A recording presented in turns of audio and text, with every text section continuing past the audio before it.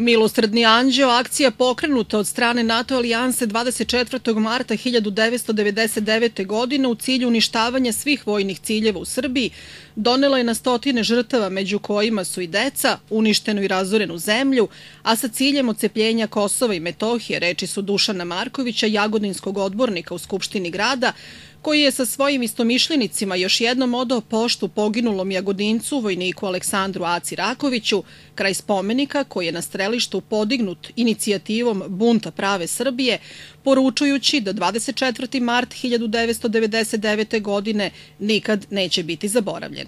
Poručujemo da ne zaboravljamo i poručujemo da pamtimo pamtimo i sećamo se svih onih nevinnih žrtava, svih naših heroja koji su branili otočbinu i pokazujemo da srpsko biće, da Jagodina i Srbija pamti. Da pamti i da ne da ono što nam je u amanet ostavljeno od naših predaka, ono što su naši preci ostavili e, nama moramo da čuvamo, moramo da branimo i da ostavimo svoje deci. Poštu palom vojniku odao je oficir u penziji Dobrica Stojanović, predstavnik Srpske stranke Zavetnici, koji je ujedno i svedok događaja vezanih za početak bombardovanja Srbije kao tadašnji vojnik Prištinskog korpusa.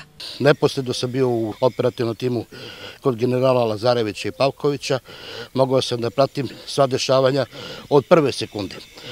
Od toga kada je Sean Burns, zamenik Vilijama Vokera, zvao na putem satelitskog telefona zvao generala Pavkovića i ja zapišem taj broj, dan danas ga imam, ovaj, sa pozivom da se Pavković ovaj, preda zajedno sa svojom vojskom.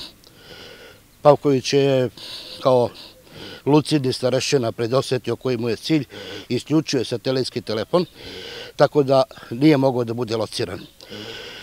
Rezultat toga je što su NATO bezumnici gađali kasarnu u Kuršumli, gde je zapravo komandno mesto, istorno komandno mesto komande treće armije. Tu su nam ubili 17 starešena koji se nalazili u skloništu, očekivali su da je Pavke tu, međutim, heroj, general Pavković je bio sa nama u Prištini.